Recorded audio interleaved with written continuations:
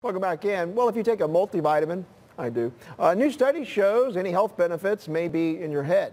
A study out of Harvard found 30% of adults taking vitamins reported better overall health than people who don't take them. But a medical history assessing dozens of physical and mental illnesses showed no actual health differences between the two groups. Well, can we trust the results of this study? Our diet nutrition expert from UAB, Dr. Beth Kitchin, joins us once again and uh, by FaceTime. Good to see you this morning. Hey, Mike, it's nice to see you too. All right, so I know you're well aware of all these studies. So give us some perspective yes. here. What, how should we take this?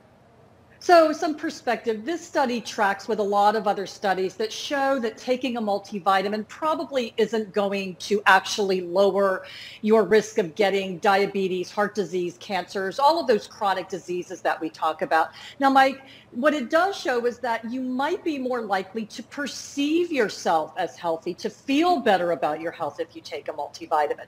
But that 30% that you talked about, 30% more people describe their health as being good to excellent that was actually a difference of just a couple of percentage points. When you looked at the actual data, like I did, uh, about 85% of non-users described their health as being pretty good, whereas 88% described it as mm-hmm. being good if they took a multivitamin. So, you know, they always use that relative risk that we talk sure. about. Yeah, that was a 30% difference, but a lot of the non-users also felt that their health was pretty good. It was the majority. But it is interesting because it does show that, you know, sometimes those things that we do, whether they actually have an effect or not, they make us feel better. It's that self-care aspect of things like taking a multivitamin. Well, let me ask you this, because you've talked before so many times in our segments that, you know, look, you, you want to get most of your nutrients from foods, uh, not necessarily from supplements if you don't have to. I try to. I try to eat healthy.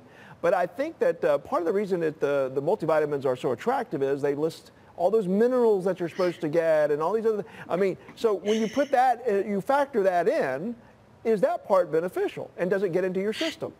You know, this study looked at a big swath of people, right? Now, could there be individual circumstances where taking a multivitamin may be helpful to you? I have some patients that I do recommend a multivitamin if they're not eating a super healthy diet.